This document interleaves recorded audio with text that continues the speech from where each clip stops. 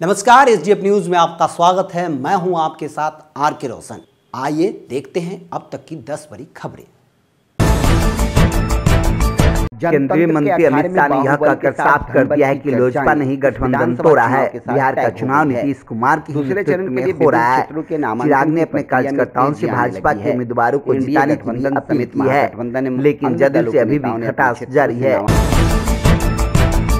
पटना हवाई अड्डे पर पार्किंग एरिया में हेलीकॉप्टर टकराने की घटना की गंभीरता से जाँच की जाएगी। विदित है कि विमान में केंद्रीय मंत्री रविशंकर प्रसाद बिहार के स्वास्थ्य मंत्री मंगल पांडे और मंत्री संजय झा सवार थे। कहते हैं कि वही होता है जो इस वक्त मंजूर होता है। भाजपा के एनडीए के दो उम्मीदवारों का नामांकन पत्र रद्द हो गया है। अब पार्टी भी उन पर नाराज़ है। इस बीच सुषमा साहू और सुरेश पासवान सहित बत्तीस उम्मीदवारों का नामांकन पत्र दूसरे चरण के लिए रद्द हो चुका है। बिहार विधान परिषद के लिए एनडीए ने अपने उम्मीदवार के रूप में नीरज कुमार पर भरोसा जताया है। महागठबंधन के सभी दलों ने अलग अलग उम्मीदवार उतारा है जिसके कारण खटास स्थिति पैदा हो गई है। कोरोना संक्रमण अभी भी लोगों के लिए तनाव का कारण बना हुआ है। इस बीच केवल पटना में ही 250 कोरोना संक्रमित पाए गए हैं। आपने भी चार मरीजों के मरने की भी खबर है। वैसे सोम में ग्यारह सौ मामले उजागर हो गए हैं नवरात्र मंगलवार हो चुका है? इस पर्व में फलों की बिक्री बढ़ जाती है लेकिन केला संतरा सेब तथा अन्य फलों की कीमतों में इजाफा हो जाने से लोगों को परेशानियों का सामना करना पड़ रहा है। लोगों ने प्रशासन से इस संबंध में हस्तक्षेप करने को कहा है। मोदी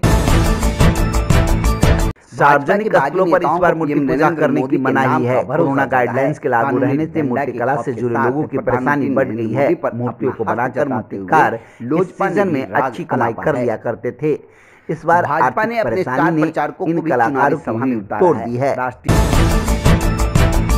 आज से पटना गया के बीच रेल यात्रियों के लिए चार मेमू पैसेंजर ट्रेन चला करेगी लोकल ट्रेन का यात्रियों ने स्वागत किया है।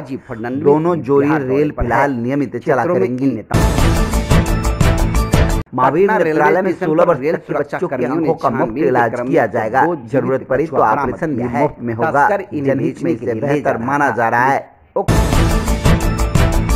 चुनावी प्रचार में तेज़ी आते जा रहा है। लोगों की नज़रें उन विधानसभा सीटों पर अधिक है जहाँ से बाहुबली उम्मीदवार खड़े हुए हैं मौके पर वैसे जनता की खामोशी ने उम्मीदवारों की परेशानियों को बढ़ा दिया है। खबरों के इस सफ़र में बस इतना ही। ताज़ा तरीन खबरों के लिए आप देखते रहिए एस न्यूज़